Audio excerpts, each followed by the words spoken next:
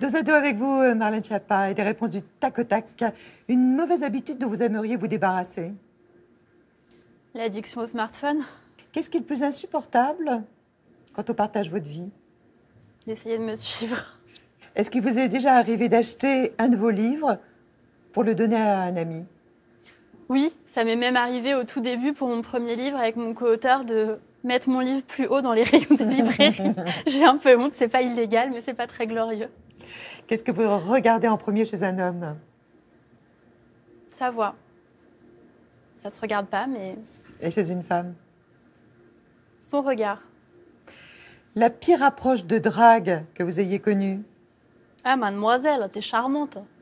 Donc, ça m'interpelle parce que je me dis, qu'est-ce qu'il s'imagine? Est-ce qu'il pense qu'on va euh, vraiment aller euh, dîner, discuter, je vais l'inviter chez moi parce qu'il m'a dit que j'étais charmante dans la rue.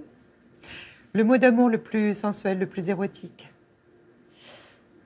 Euh, Tu écris bien As-tu l'amour rédhibitoire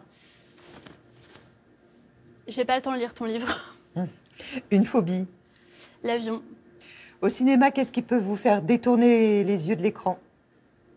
Alors rien, je suis très très concentrée. Je suis une bonne euh, spectatrice de cinéma. Le luxe dont vous ne pourriez pas vous passer? Mes enfants. Avec quelle personnalité vous aimeriez rester coincé dans un ascenseur? C'est difficile parce que hum, souvent on est déçu quand on rencontre des gens Mm. qu'on adorait ou qu'on admirait. Euh, donc aucune. Le rêve que vous n'avez pas encore réalisé?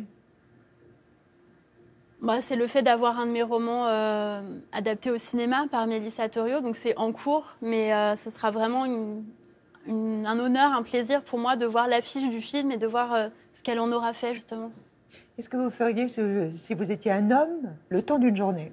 J'irais draguer des femmes et on dirait de moi que je suis vraiment un don Juan. euh, voilà, mais je serais très classe. hein, je ferais de la drague classe. Je ferais pas du harcèlement de rue. Je ferais pas, euh, j'irais pas importuner des femmes. Euh, je fumerais un gros cigare. euh, je ferais tous les clichés vraiment. J'irais voir PSGOM en mangeant un hot dog et je pourrais crier sans qu'on me juge parce que là, quand je le fais, c'est pas très classe.